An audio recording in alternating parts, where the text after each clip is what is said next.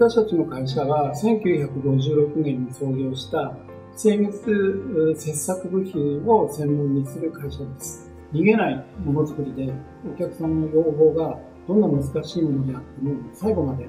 成し遂げる、そういう気持ちのものづくりに達したいと思っています。日本の市場自体が、まあ、だんだん小さくなっていく中で私たちのような中小企業も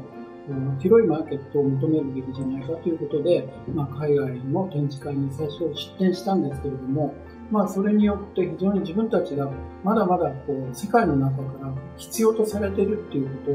とを実感しました。出来栄えって言いますか、あの単なる数字で現れないようなものの良さというのが、やはり日本の強みだと思っています。弊社では大きく分けて航空機と医療機器の部品を加工してまいりました。どちらの分野でも命に関わる高精度を必要とする部品なのですが高品質なものを安定供給できるという点で信頼をいただいております。この形状を作るためにどういう機械でどういうふうにしていかないとこの形状が作れないのか。やっぱり現場の経験と知識は重要ですね。最初図面を見た時になんだこの形状は。しかもこの材質でっていうその品物を納期通りに、えー、加工して、えー、お客様にクレームなく納め上げられたことですね。